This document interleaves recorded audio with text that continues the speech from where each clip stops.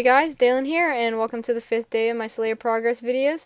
Um, I feel like I say this all the time, like almost every single video, but once again, I wasn't on earlier today like I hoped and thought I would, and so I haven't gotten as far as I would like to yet. Um, I'll probably be up a little bit later tonight and doing um, Slayer, so I'm aiming to get under 11 mil, or I mean, not under, um, to get to the 11 mil mark tonight. It's probably fairly easy to do. Um, I only have about for 35k XP until there, so that shouldn't be too bad. That's probably about um, you know, that's about two two or three tasks depending on what tasks they are. Um, so that should be fairly easy. Uh, yeah, but like I said, I wasn't on earlier today. I um, thought I was going to be, and then my dad told me that I needed to drive him to the eye doctor. Um, my dad's on pain meds right now, so he can't drive. So I'm the one obviously driving him around. Um, so you know whatever. And so I came home. I got online for a while. I did like two tasks. I did a Grotworms task, and I think I did a, a a task. Um, I got invited to my clan as well today. I did get accepted into the girls' clan. Uh, I mean I haven't been in it for I haven't even been in it for 12 hours yet. I mean I don't really know anybody, so um, we'll see how it goes for me. I'm hoping that it'll go well. I've heard from some other clans that some sometimes that people get uh, frustrated and annoyed here. I don't think I personally will. Um, they seem like at least the leader that I talked to today seems like she's pretty chill, pretty cool. So, you know, hopefully, and also because like I know um probably another one of the reasons that probably people do a lot of quitting is because they don't because this clan doesn't have a citadel. They don't do a lot of like they don't do like scheduled events or anything. And I mean, I'm fine with that like my, my, the way that I the reason I'm in clans, I'm fine with that. I'm entirely cool with that. Um, I'm really only in it to do talking with people, and I'm used to not doing a lot of chatting in late at night. Um, because um, it's just for as long for as long as I can remember, really. Um, people usually aren't on late at night when I am because uh, since I'm in the Pacific time zone, that's one of the later time zones, GMT minus eight. Um, and so obviously when I'm online, it's like people in other people in the US typically are asleep, you know, it's, you know, it's, uh, 11, 12, 1 in the morning. Um, for them when I'm usually on and then people in like the UK and Europe usually are, you know, at school or work. That's fine, you know. Um, and then usually the only people that are on are people who live in the Australian time zones or uh, New Zealand, and so you know that's usually actually who I talk to the most. People in New Zealand, um, and Australia. One of my best friends on RuneScape now is I think I really I don't want to say say it because if I say it wrong, they'll get offended. Because if you call an Australian a New Zealander or a New Zealander an Australian, they'll get mad at you. I want to say he's Australian, but I don't want to say it for sure because I don't really know. And that's really sad that I don't. But it's like I know he lives over there and I haven't really like bothered to remember as bad as that sounds. Anyways, um uh, moving on. Uh, let's see. Yeah, so clan got invited today. Hopefully it'll work out, you know. I'm not really typically one to quit clans unless they fall apart or I can sense that they're about to. Um, that's usually when I will quit.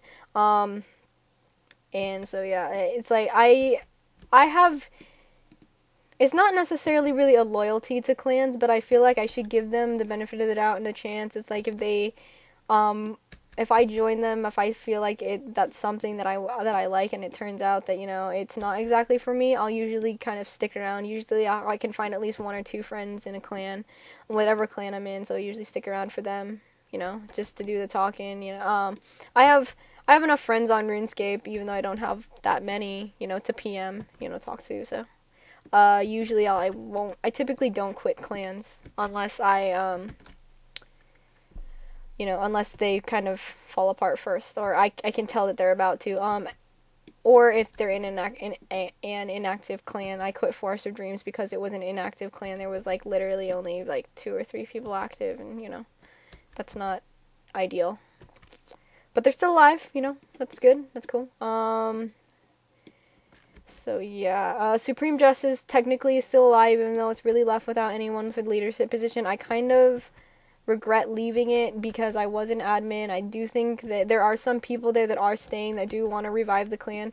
I told one of the members there that they're always welcome to PM me or hit me up or whatever, like on YouTube, get a hold of me somehow, and I will try and help them out. You know, there it's like I've been in a clan. I've been in that clan. I do have connections with those people. I feel like even though I did leave, I'm still you know an ex member of that clan, and I will do what I can to help them if they need it you know um so i get it's like usually when i when i also when i quit clans that i've been in and they're still alive i do feel somewhat of a loyalty to them because they were my home for quite a while. Usually uh supreme justice was my home for about two months so it's not as much as some of my other clans. I was in the elite legends for god probably half a year to a year.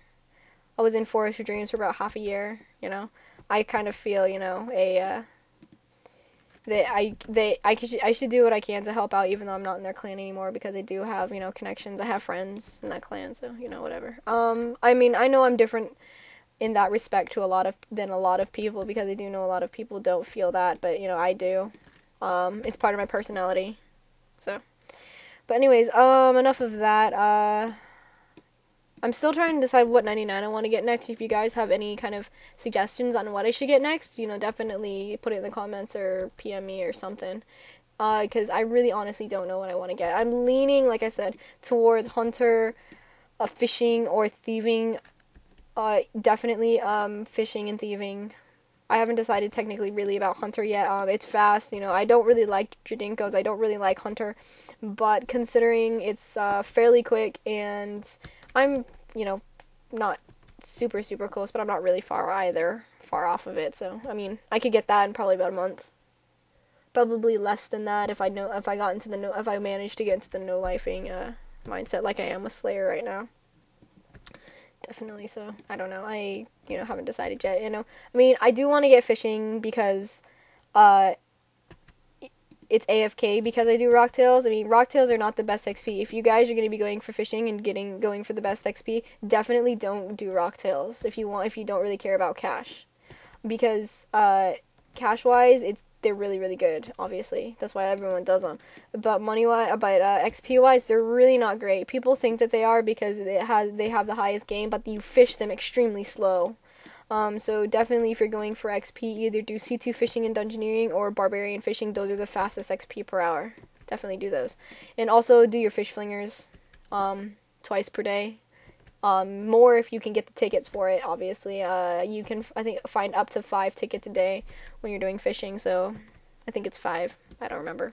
Um, but definitely do your fish flingers per day. Uh, especially if you want to get the fishing outfit. Um, it does it does grant a fairly good amount of bonus XP considering um so I definitely think it's probably it really is worth getting, you know, uh especially if you're going to be doing something like rock tails because it eh, when you're doing rock tails and it's extremely slow any little bit of uh, XP does help.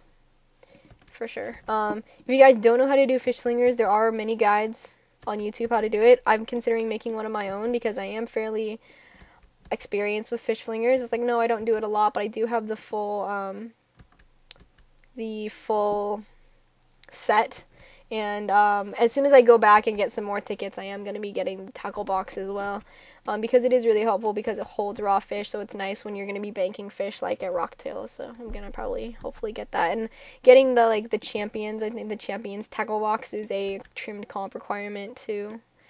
Um, not that everyone's going for a trim to comp, obviously, but if you are, or even think that you may in the future, it would be nice to probably get it out of the way. But yeah, um, fish flingers is easily good. F- um, once you get one, once you get experienced at it and good at it, it's easily a good 40k a day. Um, in like 40 minutes, so you know that's pretty good. Um, within an hour, 40k an hour. I mean, that's not amazing, but considering fish flingers is more of a D&D and a mini game. It's more enjoyable than just sitting there and watching your character fish. Um, so I definitely would recommend it.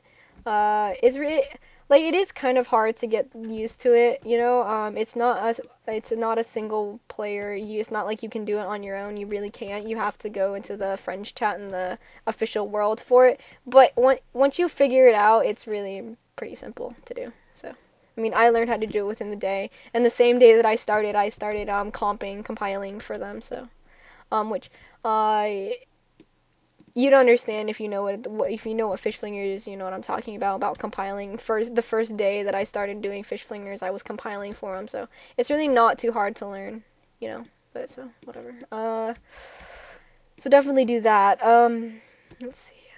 Actually i had a really long ass dark beast task today. It was like 232 that's like like i was happy to do it because it was a 72k task that i did in less than an hour um, I mean, that's not amazing, honestly, because you can, when you're getting like metal dragons and whatnot with abilities with mage tasks, you can easily get like 100 to 150k an hour. But considering it was a range task, you know, I was I was happy with it. Um, got my first dark be- dark bow drop. I think I said that already. Um, let's see. I'm actually really happy to do to do those kinds of tasks like Ganodermic Beasts. I like doing those and like whatever because of the unlimited prayer. Because you don't have to bring um food and you don't have to bring uh prayer pots because if you have a dragon tooth necklace, which I don't have on right now, um because these don't drop bones, um but if you have the split dragon tooth necklace, or there's another one, I forgot what it was called, but uh, the split dragon tooth necklace is the lower tiered one. It only uses normal bones and big bones, but with the other one, you can use higher tiers like dragon bones and whatnot. Um, I didn't personally really want to get it because I couldn't really be bothered to use tokens for it because the normal bones and uh, uh, big bones are really what I use them on for Slayer honestly. Like I could use it for dragons, but you know, I just I couldn't be bothered. And also get a bone crusher so it, you don't have to go up and bury every individual bone because it works. So like if you have a combination of a bone crusher and a split dragon tooth necklace or whatever the other one is, um, you basically get unlimited prayer at a Slayer task, so you don't have to bring any prayer pots. So it's really nice. It's really cool. Um, so if you are if you guys are doing Slayer, especially if you have Kuradal as a master, I'm pretty sure you can use it on um other masters for sure, but at least in my experience is Kuradal, um, she gives enough tasks that it would be worth getting, you know, so you save up on prayer potions and food. Um, also remember, I totally would recommend doing Goth- uh, not while Guthix sleeps, the World Wakes as soon as possible because of uh, Guthix's blessing ability. That's a really handy ability. Um, it's basically like uh, rejuvenate or whatever it is, right? Rejuvenate, except you don't need a shield, and I think it heals you a little bit more. I can't, I don't remember. So this heals you 8% of your maximum every two seconds. I mean, I, and then the other one helps you 40% of your life points. So let's see, 48, 8 times 8% of your life points over 10 seconds. So yeah, it's, um, I think, I'm pretty sure Guthix's blessing is better. If I can do, if I can do my math correctly and I'm understanding, um, what they're talking about. Um, but yeah, I think I do believe Guthix's blessing is better. It's really nice. It's really handy if you are going to be using abilities. If not, you know, um, that's another story. But if you're going to be using abilities, I definitely recommend trying to get that because it is a really handy ability, especially when you're doing something like Slayer, um, because it does save on food and prayer because of its healing abilities. I mean, it's not that even that hard to get up to um 100% ad- uh, adrenaline, so you know, definitely worth using. It's a cooldown of 300 seconds, which is like the the the bum part, but you know, with an OP, uh, with an ability like that, it would be really OP if it had a short cooldown. So, anyways, oh, let's see. But like I said, uh, you guys should give me, you know, suggestions on what I should get for what 99 I should get. Um, it's definitely not gonna be construction. Definitely not. Don't suggest that because I won't do it. uh, construction to me, until they do the revamp of it, which I think they are hopefully planning, um, construction is really a pointless 99 unless you like the cape or you're going for max cape. Honestly, there's no other reason really why you should have it because it is such a like pointless. Like I the only thing I use my house for is uh, my portals, my gilded altar, uh, my glory, and my obelisk, and I can make that all at 82. I think you could all make all of that crap at 80, um, or even lower if you boost. But um, and there's really nothing at higher levels that I really need to get. Like, there's no reason I need to get higher. This is the one of the reasons why my construction has stayed that low. I mean, obviously I'm going for max K, so obviously I am going to have to get it, but I'm really hoping they do a revamp to make construction more useful because honestly, it's really not that useful right now. at higher levels. Really, it's not worth it. Um, at least to me, it's not. I mean, to some of you guys, I guess it might, but to me, it's definitely not worth getting 99 unless you like the cape or maxing for sure. Um, I do need to get 96 summoning. Yes, need to get that. I for Pakyak. Uh, I keep saying that, but I'm I'm not going to be getting enough um charms from 99 Slayer for sure to get to get it. Mostly because I don't pick up golds and greens and crims. I pick up crims actually. I don't pick up golds and greens because I can't be bothered. They, they, drop too frequently, and I don't want to go run over every time and go pick them up. Um, so, but yeah, um, you know, I'll be probably just doing a bunch of Glacors. I actually just bought Rage Fires. They're only like six mil, so I was like, okay, those are freaking cheap. I will buy them. Um, I thought they were more expensive, but obviously after RuneScape 3, all the high-end armor crashes, and I, there's actually a bunch of different reasons economically for that. I mean, RuneScape does have a very odd economy, um, because obviously material costs more than the final product, which is not true in real life. Um, but the reason for that basically is the experience that you gain from making that um, final product is more valuable in RuneScape than in real life. So, you know, that's kind of why it's all messed up that way.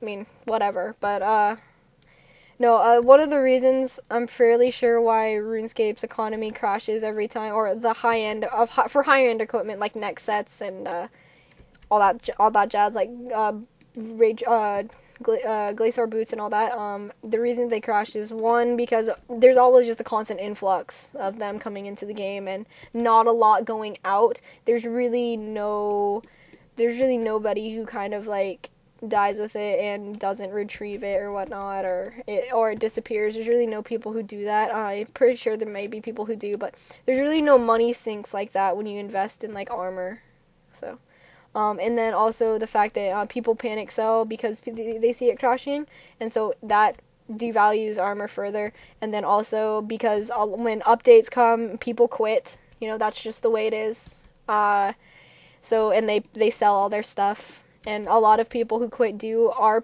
higher end level players because they do want to. Um, a lot of them go to 07 Scape um, because of the nostalgia factor, and you know they, they like that era better, and you know more more power to them. But uh, when they pay when they sell their stuff when they quit um, after every update, you know, you know people you know the value goes down. I've lost a fair amount on Pernix already. I mean I don't really care just because I'm planning on keeping it. One because like it's good armor, and I do a fair amount of ranging. Um, also because I like the look of it, and that's another big reason why I'm keeping it because I like the looks. So. I'm keeping it really for the for looks too as well. Um, I probably would have been uh, fine with Armadyl if I hadn't liked the look of Pernix, honestly, but you know I do, so that's a personal thing. I'm one of those people who likes making my character look good. Um, and I think Pernix does. Uh, some people don't, but whatever. Anyways, um, so yeah, uh, put your 99 suggestions in the in the comments or PM me about it because I really honestly don't know what I want to get. Uh a lot of the useful 99s I have, like the combat ones. Uh, I'll have Slayer, not that that's exactly useful after 99. Um, but yeah, anyways. Um, I think that's all for tonight, guys. Uh, you know, I, I'm 2k away from 11 mil, so I think actually I might do that on camera and then I'll get off, but Anyways, uh, yeah, that's really what it is. Like I said, I'm planning 99 probably next Tuesday or Wednesday, probably more Wednesday, possibly Thursday. I'm not sure about Thursday. Most likely it could be Thursday, but it would be later in the afternoon because I have uh, orientation for college in the morning. It's gonna probably last a couple hours, which whatever, it's fine. Um, yeah, I need. I'm signing up for class and stuff. I haven't done my online orientation. I keep forgetting, so I need to do that for sure. Um, anyways. This is the last one before I get 11 mil XP. I think I may do some more tasks tonight. Uh, go, go. Okay, there you go. Got 11 mil tonight. Um, 11 mil XP, guys. Uh, that's a fairly large milestone. I'm only 2.034 mil from, so basically 2 mil from 99. So I'm really looking forward to that for sure. Anyways, guys, um, Hope you guys enjoyed the video. I'll see you later. Thanks. Bye.